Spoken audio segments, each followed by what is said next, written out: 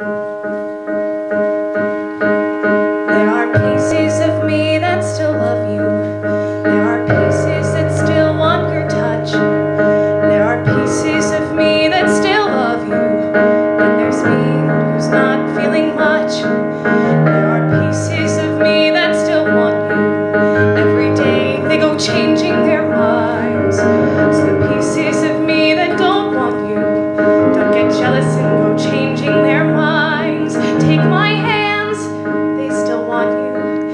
my feet